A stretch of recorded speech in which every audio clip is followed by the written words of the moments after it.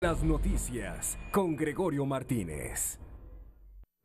Muy buenas noches, bienvenidos a las noticias. Damos puntual seguimiento a este acto de violencia que se registró ayer domingo, ayer domingo por la tarde, horas antes del clásico regiomontano. Por supuesto que le damos puntual cobertura, sobre todo a los temas torales, el estado de salud del joven agredido y un poco más adelante cómo van las investigaciones y también estaremos en el lugar ahí en Avenida Astral. Vamos primeramente con el reporte de lo que nos dicen en el hospital universitario, grave pero estable. Así reportan este joven de 21 años de edad.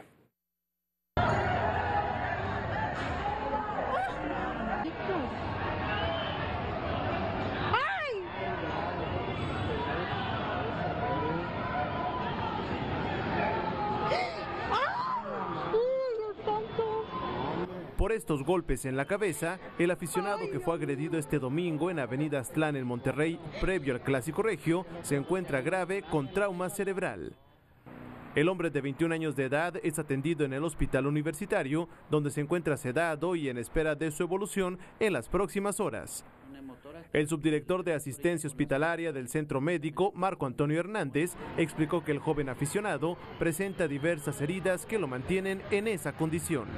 Ayer llegó, se le hace diagnóstico de un trauma craneal severo, se valora por el servicio de neurocirugía, asimismo por el servicio de cirugía general por la lesión que trae en el tórax.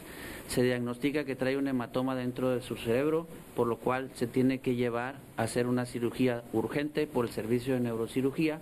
Las lesiones que presenta el joven aficionado son contusiones múltiples en cráneo, heridas cortantes en el cráneo, heridas cortantes en el tórax, además de heridas cortantes en la región costal derecha.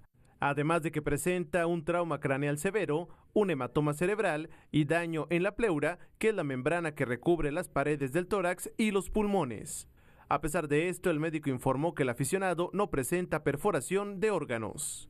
Actualmente el paciente está en cuidados intensivos, está estable hemodinámicamente, ¿qué quiere decir? Sus signos vitales están estables, más sin embargo las lesiones que traía y la evacuación del hematoma en su cráneo hacen que traiga edema cerebral y eso es lo crítico en las siguientes 72 horas.